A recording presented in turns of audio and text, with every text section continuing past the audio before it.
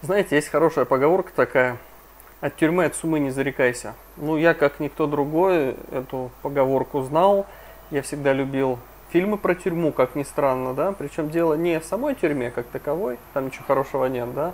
А дело в том, что я себя всегда пытался поставить на место людей, которые там находятся. То есть я смотрел все эти фильмы «Полуночный экспресс», помните про турецкую тюрьму, где парни американцы посадили там за наркотики или что-то такое или «Побег из Шоушенка», ну и всякие подобные. И я всегда думал, как бы я выживал, как бы я действовал в этой обстановке, то есть в замкнутом пространстве, среди разных людей, которых нельзя назвать интеллигенцией, да, там всякие бандиты, маньяки, черт знает кто, да. То есть не имея подобного опыта, я выводы делал на основании фильмов. Э, с другой стороны, я не могу сказать, что совсем был уж таким профанчиком, да, маменьким сынком. То есть свои три года в армии отслужил, в том числе в горячих точках. И э, на, арги, на армейской гаупвахте я пару раз побывал, и примерно я знал, чего ждать. Но в тот момент, когда я приехал на электричке из Вильнюса в Минск, меня в Минске задержали, э, это было около 12 ночи, Минская гостиница спортивная, насколько я помню. Э, постучали в дверь, вошли несколько белорусских милиционеров с автоматами, значит, в этих масках. Сначала они себя вели достаточно культурно, они сказали, что мы тебя задерживаем по запросу Генеральной прокуратуры Азербайджанской Республики, и что-то читаю, там статья, там призывы, что-то против государства, незаконное пересечение границы. Я сначала не понял, какой Азербайджан? Я? Какое вообще отношение к Азербайджану? Но они сказали, мы, слушай, мы не знаем, что и как, и знаете, в этот момент я понимаю, что я обязан как-то известить близких, друзей о том, что происходит. Ну, те, кто знает мою историю, они в курсе, что я блогер-путешественник, я езжу по каким-то горячим точкам, снимаю там репортажи и периодически попадаю, нарываясь на какие-то проблемы. Ну и я отпросился в туалет, они меня ждали, пока там вынесу вещи, и будучи в туалете, я успел отправить сообщение. До того, как они фактически ворвались туда, повалили меня, но уже увидели, что сообщение уже ушло. А, это было 15 декабря 2016 года. Получается, азербайджанская прокуратура преследовала меня, российского блогера-журналиста, запрещения Нагорного Карабаха, и пять лет спустя после этой поездки они меня достали в Белоруссии. Им не понравилось, что я публиковал статьи о разрушении всяких христианских кладбищ и церквей на территории Азербайджанской республики. И я провел около двух месяцев в белорусских тюрьмах. Сначала это было Первомайское РОВД города Минска, там я провел два с лишним дня. Потом меня отвезли на ИВС, на ИВС я был еще что-то дня, полтора-два, и потом я был в следственном изоляторе номер один, так называемая Володарка. И все то время, что тянулась экстрадиционная процедура обжалования Верховного суда Беларуси, я находился на этой самой Володарке. Вот, до этого, как я уже говорил, а, Первомайское РУВД города Минска. Меня там заперли в крохотной камере, без окон, без туалета, без всего. Кормежка в РУВД не полагается, исходя из законов Беларуси. Поэтому, если вы там оказались, то будьте готовы к испытаниям. Ни кровати, ни тем более стульев там нет. Там, знаете, такая бетонная ступень, ну, высотой, наверное, сантиметров 20. И там, значит, спят всякие бомжи. Ну, конкретно в моей комнате, кроме меня, никого не было. В общем, грязная вонючая комната, 3 на 3 метра, Периодически меня оттуда выводили на второй этаж э, РОВД, где требовали отказаться от адвоката, нанятого семьей, убеждали, что мне лучше согласиться на немедленную экстрадицию в Баку, типа там тебя отпустят. Ну, я понимал, что это все фуфло, и там меня просто убьют. Ну, вы представляете, что такое азербайджанский режим, ну, абсолютно жуткая исламистская диктатура. Вот. А пока меня ломали вот в этом самом РУВД, моя супруга адвокат пытались э, прорваться в это самое здание РУВД и со мной встретиться. А им говорили, что якобы я сам отказался от адвоката и не желаю с ними встречаться. Представляете? Ну, как бы забегая вперед, я скажу, что благодаря оперативно поднятой шумихе в СМИ белорусские силовики прогнулись и позволили адвокату со мной встретиться. Но два дня семья и адвокаты добивались. Э, в общем, все были шокированы этим абсолютно чудовищным нарушением прав задержанного. Вот. Потом в ночь на третьи сутки, как я находился без еды, и вот кроме вот одной встречи с адвокатом без связи с внешним миром, белорусские милиционеры, грубо сцепив руки в наручники, запихнули меня в тазак. Кроме меня там было, были еще люди, нас набили в машину, знаете, как сардин в банку. руки, значит, вывернуты назад в наручниках, от чего не двинуться, не дышать толком невозможно. Ну и, видимо, чтобы помучить нас как следует, они долго не, не ехали. И, и тут надо понимать, что это декабрь, да, как мы говорили, 15 декабря. Обогрева внутри белорусских автозаков нет. На улице декабрь, минус 10 температура. Короче, мы чертовски там все промерзли. А руки и без того сдавленными наручниками, в общем, стали не иметь. Меня это здорово беспокоило. То есть, если это продлится несколько часов, ну, это добром не кончится. После этого нас еще часа два или три возили по Минску и переполненный автозак запихивали новых узников. Частично бомжей, частично совершенно ну, там, интеллигентного вида людей, которые успевали выкрикнуть «Вы нас не сломаете» и «Живы Беларусь», то есть какие-то политические. В общем, последнее выражение мне впоследствии предстояло услышать еще многократно. А, потом был шлюз Володарского следственного изолятора в самом центре Минска. Он напоминал, знаете, прибытие поезда с узниками в концлагере Освенцим. Помните, может быть, этот фильм был список Шиндлера. То есть крики, лай овчарок, мат, здоровые белорусские амбалы с этими дубинками резиновые, поигрывают дубинку, насмешливо э, ржут в нашу сторону шнель, там руси швайны, типа, ну что, русская свинья. То есть я думаю, дело не в том, что русская не русская, просто эти бараны намекали на советский фильм про Великую Отечественную, и себя они считали гитлеровцами, а нами, видимо, нас, видимо, видели в качестве военнопленных. Вообще омерзительно, да? То есть это страна, потерявшая миллионы в годы Великой Отечественной войны. Вот такие мрази там теперь уродились. В общем, вперед орут, не останавливаться, не смотреть, голову не поднимать, голову не опускать. В общем, грязные облезлые стены, запах канализации, мочи, полно ментов, ржущих, ругающихся матом. И знаете, еще вот такая дымка, вот когда канализация зимой течет, вы знаете, вот такой как бы пар под потолком. В общем, ад настоящий. А потом э, типа медицинской проверки проверяют нас как скот. Разделяют, раздевают до гола, открой рот, грубо так, знаете, тыкают, закрой рот, закрой рот, присядь, встань. Потом запихнули в грязную отвратительную камеру. А надо сказать, это же Владарская сезон номер один в Минске. Это исторический замок Э, в котором, в общем-то, тюрьма была на протяжении практически 150 лет. Погуглите, Пищаловский замок. Э, все старое, все облезлое, с тех пор ничего не ремонтировалось, э, везде все подтекает, вся эта канализация, ну, в общем, ад. И грязные ржавые кровати без матрасов, естественно, без подушек, постельное белье, ну, смешно. И туалет, знаете, в виде такой бетонной ступеньки и просто дырка в бетоне, вся вокруг засранная. Ни загородок, ничего нет. Короче, всю ночь я ходил по этой жуткой камере, чтобы не замерзнуть. В общем, отопления там у них тоже нет. В общем, ближе к утру там заскрипели засовы и, значит, в камеру затолкнули какого-то помятого парня, ну, лет 20-25. Он держался за живот и еле-еле там прошел пару шагов до железной кровати, упал на нее. В общем, он объяснил мне, что ему удалили грыжу сегодня, менты его взяли буквально из больницы со швами на животе. Но он так, знаете, поднял эту свою вот, свитер или что у него. Ну и видно, знаете, такой шов, из него нитки торчат, и гной подтекает. Ужасное зрелище. В общем, за что его арестовали. И тоже, знаете, живы Беларусь. Ну, кто-то тоже из политических активистов. Короче, через пару часов опять скрип двери, в кормушке появилась рожа белорусского мента, значит, на, выста, на выход быстро. Ну, короче, схватил я там свои вещи, выхожу, а парень не смог выйти, ну, плохо ему, видимо, было. Я говорю им, слушайте, вы там помогите человеку, он помрет у вас. Значит, короче, три амбала заходят внутрь, и вместо того, чтобы помочь парню, начинают ботинками, ногами пинать по железной кровати. Значит, вот так трясется, ходуном ходит. В общем, требуют его встать. Ну и мат-перемат. Значит, что мы тебе заднее, так сказать, отверстие вставим дубину, ты у нас там это, да мы тебе то, да ты нас не знаешь. Ну, всякое это дерьмо начинают прогонять. И он как-то еле двигается, они его берут вот дубинкой вот этой резиной, просто тыкают куда-то в бок.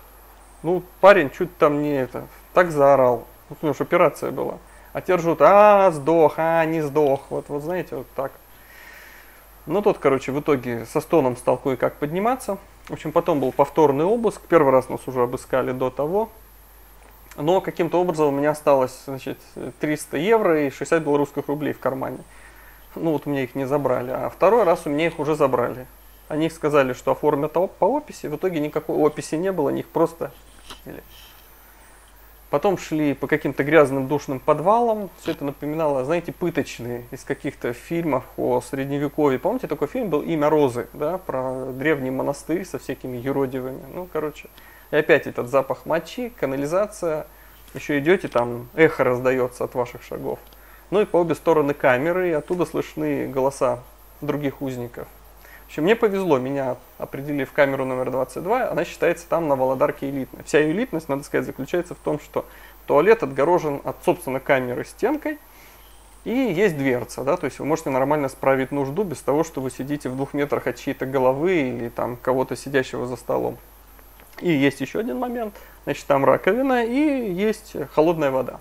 Горячей воды в тюрьме вообще нигде нету, кроме как в бане. Ну, к бане мы еще вернемся. Вот. А, кстати, в обычных камерах, знаете, как э, воду набирают? То есть вот представьте, вот эта ступенька бетонная, да, в ней дырка, в которой справляют нужду, и там такой есть краник, чтобы как бы смыть воду, да, вот буквально в 20 сантиметрах от того места, куда вы, извиняюсь, какаете, да. То есть вы должны туда нагнуться вот так вот головой, практически головой, вот туда, в эту дырку, и чтобы там попить воды. Или вы стакан, стакан хотите набрать, да, и вы практически туда вот стакан держите, ну, ну прямо извиняюсь, над какашками. То есть жуткая антисанитария, жуткое унижение людей. Ну, в общем, чтобы зубы почистить, умыться, надо нагнуться так, что вы голову практически в дырку засовываете. Но это я, как говорю, это в обычных камерах. Так держат обычных белорусов, а я как элитный заключенный, да, в кавычках, ну, меня держали в более приличном месте. Но на самом деле главное достоинство 22 камеры это был не туалет и даже не вода. Интереснее всего контингент камеры, поскольку держат не людей культурные журналисты, позиционеры, бизнесмены. В общем, именно в ней, по всей видимости, содержится в данный момент кандидат на пост президента Беларуси, ну, которых сейчас задерживают во время беспорядков в Минске. Ну, встречали меня хорошо, про меня все уже знали из новостей, в камере был там телевизор, про меня же трубили все телеканалы, белорусские, российские, европейские и так далее. Вот, Россия протестовала против моей выдачи, Лукашенко вел торг, пытался за меня там какие-то преференции получить, какие-то скидки на газ. Вот. Ну и плюс сокамерники, видя, что я откровенно растерян, сам не понял, куда попал, усадили там за подобие стола, общак называется, налили там чайку, дали перекусить, подарили даже зубную щетку, бритву, тапки, кажется. Помню, я ел как с голодного края, все же шел третий день, как белорусские менты морили меня голодом. И еще надо сказать, меня сразу там шепотом предупредили, что вот, знаете, там в левом углу камеры, значит, э, двое полковников милиции, они стукачи. Они ждут суда по коррупционным статьям, и чтобы, видимо, себе как-то снизить наказание, уменьшить, они подстукивают на своих сокамерников. Ну, я говорю, да мне пофиг, блин, у меня секретов нет.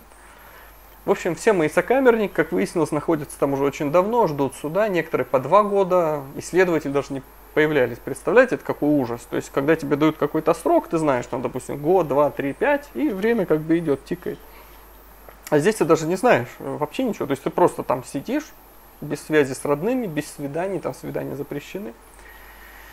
В общем, все соседи мои выглядели плохо, у всех от плохого питания и стресса бледная нездоровая кожа, очень плохие зубы, ребра торчат, синяки под глазами. Я просто с ужасом на это посмотрел, что, возможно, меня тоже это ждет. Солнечного света в камере нет в принципе, окна наглухо закрыты тремя рядами решеток, тремя. И там еще реснички. Знаешь, что такое реснички? Это вот такие металлические фигни, которые закрывают камеру от дневного света. Вот такие, знаете, как сетка такая, вот, под наклоном. То есть дневной свет к вам не попадает. А камера освещается парой лампочек на потолке. В общем, режим такой, подъем рано утром, насколько я помню, а, в 7.15 утра, отбой в 10. Днем вы сидите в камере, ну, разве что на час выводят на прогулку. Прогулка, она, знаете, в таких малюсеньких комнатушках, где э, вы можете смотреть наверх, и там, значит, сетка, решетка, прогуливается часовой, и, ну, там, по крайней мере, видно небо. Ну, и туда загоняют человек 20, то есть не пройти, не присесть, ничего. То есть жутко просто. Кто-то курит, кто-то пытается подобие спорта что-то делать, там поприседать. Вот. А, кстати, в камере днем а, ложиться нельзя в свою кровать, за это могут отправить в карцер. То есть фактически вы 16 часов в день сидите на нижнем ярусе чьих-то кровати, если вам не повезло иметь э, значит, свою нижнюю, ну, будете просить, чтобы вам дали посидеть. Но обычно не отказывают. Питание, как уже говорилось, исключительно скудное. Утром каша, причем происходит это так. Вначале в коридоре слышен шум от тележки с огромным бидоном с кашей. Э, которую другие заключенные, так называемые баландеры их называют, от слова баланда, значит, развозят. Кашу сопровождает милиционер с дубинкой, следит, чтобы баландер не разговаривал с арестованным и что-нибудь там им не передал, либо не получил. Из камер раздаются такие, знаете, полушутливые вопросы, типа, что на завтрак, шеф, да, типа, как представим, тот каша, или там перловка, или сечка – распахивается и наша кормушка, этот мерзкий голос, каша. И вы туда подходите с э, алюминиевым тарелками, которые вам раздали там, за 15 минут до того. Кстати, свою посуду иметь нельзя, вам ее раздают перед едой. Это алюминиевая тарелка, алюминиевая ложка и алюминиевая кружка. А потом у вас все это забирают, кроме кружки. Кружка у вас остается. Кстати, посуда очень грязная, с прилипшей засохшей едой и периодически с прилипшими кусками дохлых насекомых, которых, видимо, травят на кухне. Ну, на обед господин Лукашенко балует граждан арестантов жидким супом из капусты, на второе аж целое картофельное пюре с маленькими кусочками в общем, самой дешевой собачьей колбасы. Блин, собачьей, какая собачья? Блин, мне кажется, собака есть не станет эту дрянь. На ужин опять уже надоевшая всем каша, нормального мяса и рыбы в принципе нет, не существует. Я полагаю, что по правилам мясо, конечно, должно быть, но тюремное начальство активно все разворовывает и до узников ничего не доходит. Ну, коррумпированная страна, управляемая диктатором, что вы ждете? Короче, если вам не повезло и вы не житель Беларуси, или вам просто близкие не приносят передачи, будете болеть, потеряете зубы, начнете там грипповать, потом воспаление легких, вы в итоге погибнете, как многие другие. Как бы это не шутка и не пафос, я говорю на полном серьезе. Те люди, которые находились там долго, это были просто, знаете, ходячие трупы. Но, к счастью, белорусы люди приятные, и зная, что мы иностранцы, у нас нет передач, они с нами делились своими э, датчиками. Датчик это от слова передача. Э, помывка э, на Володарке только раз в неделю. Называется банный день. Значит, выводят всех вместе. Сначала моется одна камера, потом другая. Значит, ведут по упоминавшимся уже ранее этим жутким мрачным коридором малюсенькую комнатушку, где написано «баня». Там свешивается с потолка несколько шлангов, ну, обычно штуки 4. И тоненькой струйкой течет такая еле тепленькая водичка. Дают всего полчаса. То есть у нас было больше 20 человек в камере. Ну вот представьте, надо не только всем помыться с четырех шлангов, да, но еще и постираться, потому что никакой химчистки и стирки там не предусмотрено. Э, еще что интересно, значит, в тюрьме нельзя иметь свои книги из дома. Ну, в общем, представьте себе, что родственники не могут вам принести книги. Так что вы можете читать только то, что доступно в тюремной библиотеке. А тут надо понимать, что каталога никакого не существует в библиотеке, а сам библиотекарь, он сам же заключенный, появляется пару раз в месяц, месяц и может вам выдать только одну книгу.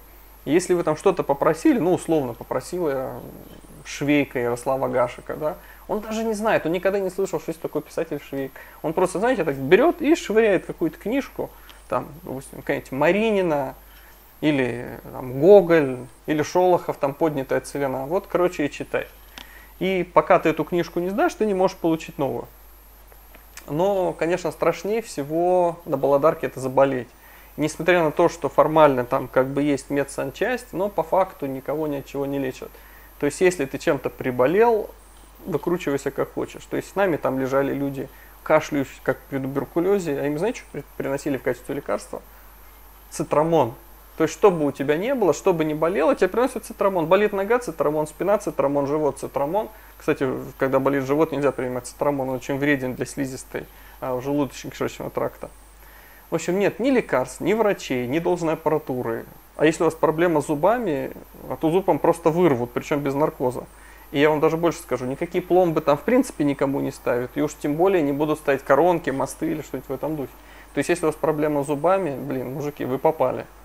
Но даже вырвать зуб – это целая история, потому что очередь к врачу ждут неделями, и за это время вы просто там измучаетесь от боли. Ну вот это кратко, что мне пришлось пережить в тюрьме. В следующий раз я расскажу, а, что такое азербайджанская тюрьма, а вы пока можете задать вопросы, я с удовольствием на них отвечу.